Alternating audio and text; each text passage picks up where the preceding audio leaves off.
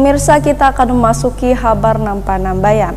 Kasus terkonfirmasi positif COVID-19 di Banjarmasin mulai melandai. Terlihat dengan semakin rendahnya angka penambahan konfirmasi positif dan peningkatan jumlah kesembuhan. Dari 52 kelurahan sudah lebih dari 50% persen berzona hijau dan sisanya berzona oranye. Sehingga warga diminta untuk kada lengah dengan terus melandainya pandemi COVID-19 di Banjarmasin ini. Kasus terkonfirmasi positif COVID-19 di Banjarmasin mulai melandai, terlihat dengan semakin rendahnya angka penambahan konfirmasi positif dan peningkatan jumlah kesembuhan. Dari 52 kelurahan, sudah lebih dari 50% berzona hijau dan sisanya berzona orange.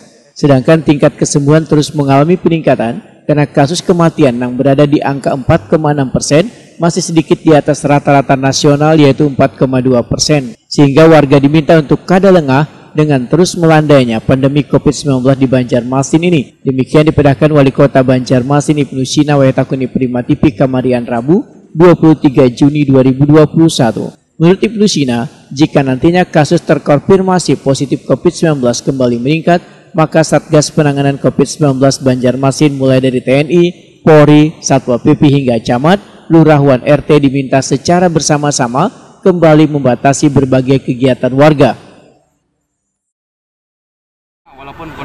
Banjarmasin mulai melandai, tapi jangan lengah.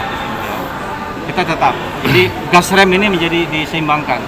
Kalau misalnya COVID melandai, silakan digas ekonominya. Tapi begitu uh, apa COVID-nya mulai meningkat, tarik rem daruratnya, yaitu ppkm lagi.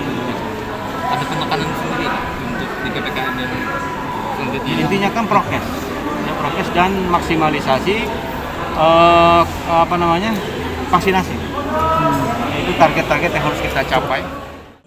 Sementara itu pelaksanaan pemberlakuan pembatasan kegiatan masyarakat skala mikro di Banjarmasin kembali diperpanjang mulai 16 sampai dengan 28 Juni 2021.